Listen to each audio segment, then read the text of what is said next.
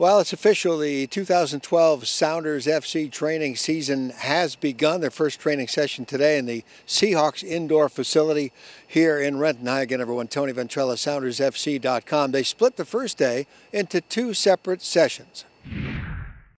The opening session Friday morning consisted mostly of rookies with a couple of veterans in the mix to create a 7v7 situation with three young goalkeepers. Sounders top draft pick Andrew Duran came into town before the snow Tuesday and immediately settled in with his new teammates today. First day getting back into it, um, but it was it was difficult. I mean, at this level, it's always going to be hard, and I'm just trying to push myself and push the people around me, to try and improve every day and make the team a better team. Duran played at Creighton in Omaha, Nebraska. His college team led the nation in defense, but he knows this is the pros, and that increases the challenge. It was. It's fast. I mean, uh, I was out here last uh, summer, and I was extremely humbled just by the, the, speed of play. I was in the middle in 5v2 forever, and I expected to be like that. So, just trying to improve myself and the guys around me and help the team. Also picked in the Super Draft was Babayele Sodade, who was in Seattle last fall with his college team playing the Huskies. From that visit, he knew he wanted to be a Sounder. I, I, was excited. I mean, Seattle, amazing fans, amazing city. I, I, came up here in the fall. I played against University of Washington in Portland in the Washington Classic over here, Husky Classic, I mean, and I loved it. Uh, I, when I came, I said, man, if I could play in Seattle next year, it would be a dream come true. And I can, I was so happy when Seattle picked me. I couldn't, I was smiling from ear to ear.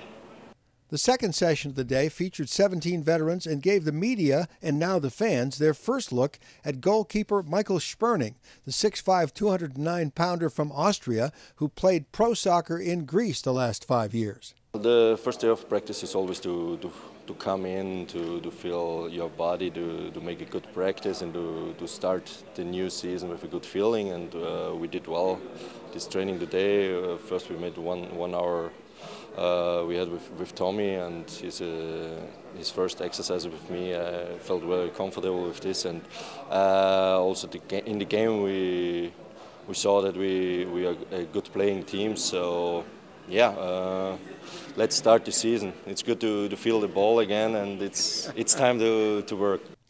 And speaking of work, it was the first opportunity back on the practice pitch for Steve Zakuani, who missed nine months with a broken leg.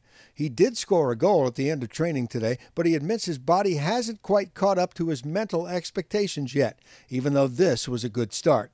I don't think I could go through that session again tomorrow. I don't think so. I think tomorrow, you know, you got to maybe release some of the pounding and just do some fitness work because you saw was a bit behind in that as well. But um, hey, I've been out for nine months and to be out there passing with the guys again, making runs for them, scoring a goal, I'll take that right now. I think it was good. I think today was a good day for Steve in terms of I, I said just go all out as for as long as you can and then you can evaluate and we can evaluate where you are in your process and you know so I think right now he's got a he's got a good feel of how far he's come and uh, how far he's still away.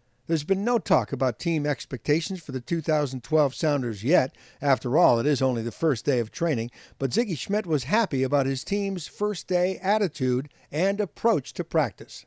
Uh, you can tell, you know, uh, you know, just by watching them today, the flow of the game was pretty good, and uh, you know, I think guys, uh, you know, know what they are are capable of accomplishing this year, uh, as long as we go about our business well and uh, you know, try and get what we didn't pick up last year.